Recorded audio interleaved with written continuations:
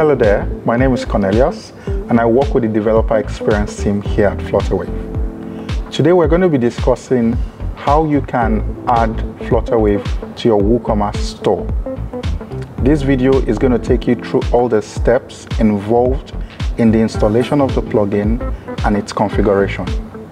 Before we get started, make sure you have a verified Flutter for Business account and you have admin access to your WooCommerce dashboard. First off, log into your WooCommerce dashboard and navigate to plugins.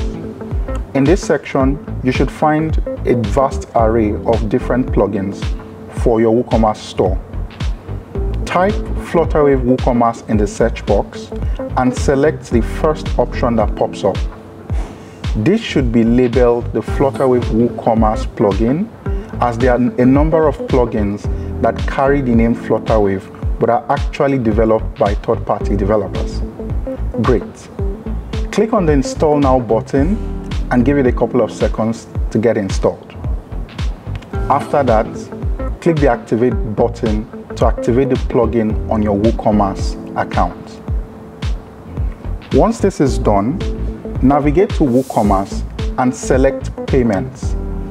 You should see an option of Installed Payment Plugins on your WooCommerce account. Click on the Flutterwave toggle to enable Flutterwave on your WooCommerce site. After enabling Flutterwave on your WooCommerce store, you should see the plugin settings.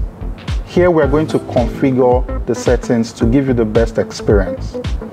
First off, you need your API keys.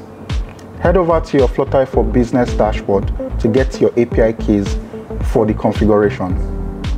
Typically, your keys are in the settings section of your FOB dashboard and you should be able to copy both your test mode keys and your production keys. After adding your keys, you also need to configure webhooks. Webhooks are important because they help you get the final status of the payments when your customer has completed them. Copy the webhook URL generated in the plugin settings and paste it into the webhook settings on your FOB dashboard. You have the option of adding a hash to your settings. A hash is a code that helps us encrypt the webhooks that come back to your application.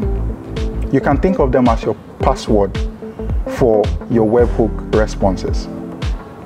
After adding your webhook URL and the hash to your FOB account, make sure this matches what you have on your WooCommerce dashboard. Double check your settings and save changes. Great, we can now test our installation. To do this, we're going to set up a sample page and host a simple product to demo this process. I have a test page ready with a sample product. I'm going to add it to my cart and then check out from my cart. As you can see here, the item is priced at a demo amount feel free to change this amount in your test and then click on checkout. On checking out, you should see a form where your customers are required to fill in personal and billing information. After filling these details, click on proceed to Flutterwave to complete the payment. Clicking this button opens our Flutterwave modal where you can complete the payment with any of our supported payment methods. For this test, I am going to use the test cards to complete the payments. After providing all the required information, the transaction is completed successfully and I'm able to verify my integration for my WooCommerce store. What's next? After successfully completing these test payments, we are ready to take our integration live. To do this, we're going to go back to the WooCommerce settings. When we get there, look for the checkbox that says Live Mode. Tick this checkbox and save the changes.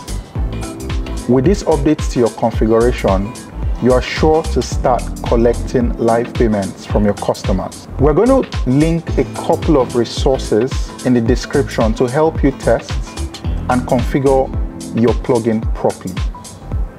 Please join our developer community on Slack to get more information on how to properly install, configure, and add Flutterwave to your different websites and applications.